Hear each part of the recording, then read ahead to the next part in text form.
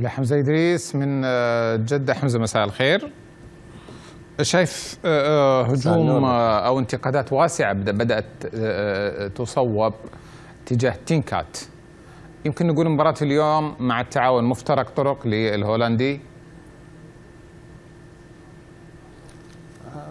بالتالي بالنسبة لي بصراحة آه، ما المفروض تكون مفترق طرق. يعني أنت مدرب خليته في الفترة الشتوية أختار اللاعبين الأجانب آه، كون فريقه الآن فمن الصعب أنه يكون مفترق طرق وتتعاقد مع مدرب جديد الآن ويحت- وممكن يبدأ يكون عنده أعذار اللاعبين ما اختارهم وهذول اللاعبين المناسبين.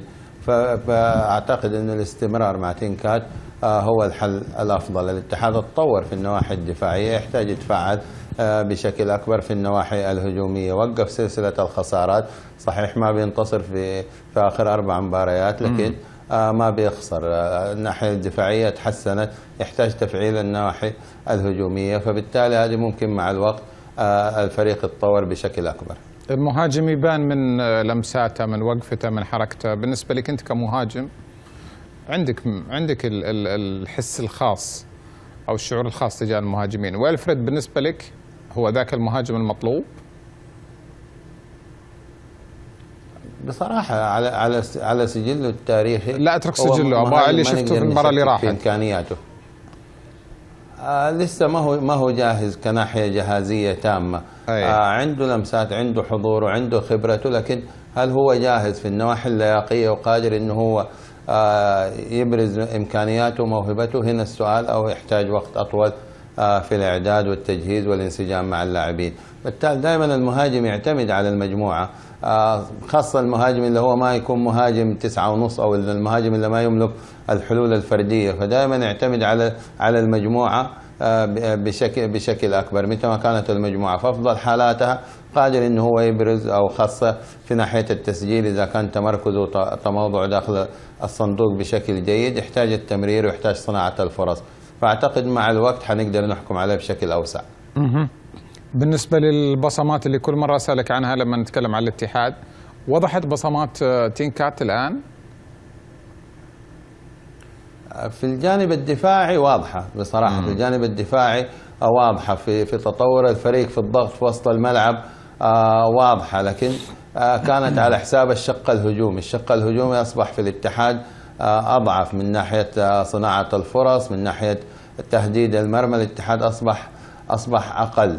أعتقد يحتاج يحتاج إعادة النظر في عملية آه، وجود رومارينهو على الأطراف، أنا أعتقد نعم. رومارينهو لاعب في العمق يكون أخطر خاصة لو كان تسعة ونص أو حتى لو كان في رقم عشرة. نعم. قادر إنه يشكل خطورة. يحتاج يفعل الناحية الهجومية في في في لعيبة المحور. مشكلة الاتحاد إنه لعيبة المحور دائما يلعبوا بشكل عرضي. ما عندهم القدرة إنهم يلعبوا آه كرات طويلة خلف آه، خلف الم- المدافعين للمهاجمين. عنده مشكلة برضه في الناحية الهجومية. نعم. دائما لاعبي الأطراف ينزل يطلب كرة آه، في الخلف ما يطلب كرة للأمام في المساحات. فهذا قلل من الجودة الهجومية آه، في الفريق. وقف آه، يعني وقف الفريق بشكل جيد في الناحية الدفاعية.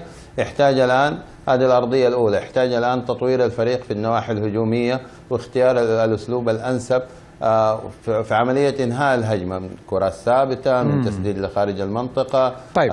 من كرات في التحولات. هذه برضو تساعده في إظهار شكل الفريق بشكل أفضل في الجزئين الدفاعي والهجومي. عندنا فريق جديد تعاون. جديد لأنه في إصابات وجديد لأنه في تعاقدات جديدة. هذه الأشياء كيف ممكن تنعكس اليوم على الفريق؟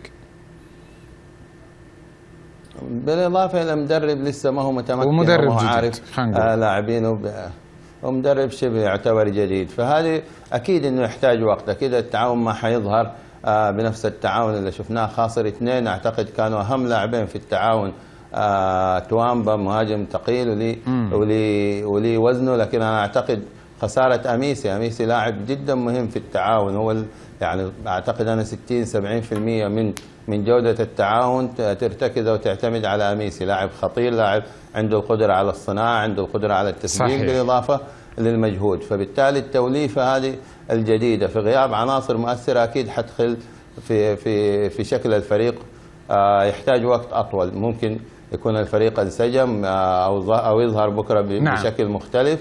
لكن أعتقد الانسجام مفقود في في الفريق وشفناه حتى آه، في المباريات الأخيرة آه، قادم من تعادلين. صحيح إنه عنده زين. 27 نقطة صحيح في المركز الرابع لكن ما هو التعاون آه، اللي شفناه في الموسم الماضي. طيب.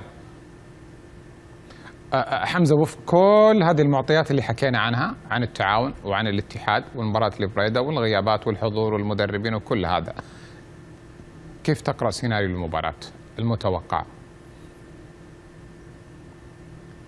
يعني أنا أنا أتوقع انه الفريقين حيبحثوا للفوز. حيكون كل فريق آه، تحت ضغط إنه يحقق انتصار فحيلعب بشكل آه، بشكل مفتوح. اللي يقدر يستثمر الفرص آه، حيقدر يفوز. نعم. الاتحاد كان يرتكب في النواحي الدفاعية كان مقبول التعادل. الآن أصبح تحت ضغط التعادلات فأصبح يبحث عن الفوز. فحنشوف شكل الاتحاد بكرة أكثر في الناحية الهجومية. التعاون. برضه بعد تعادلين بيلعب مع فريق أقل منه في الترتيب على أرضه حيبحث عن الانتصار. فأتوقع انه المباراه حتكون مفتوحة حيكون فيها عدد آه، كبير نعم. من الفرص ترجمة الفرص.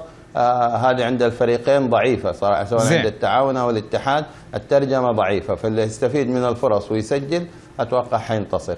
بس أتوقع مباراة مفتوحة وفيها فرص كثيرة. شكرا جزيلا حمزة إدريس.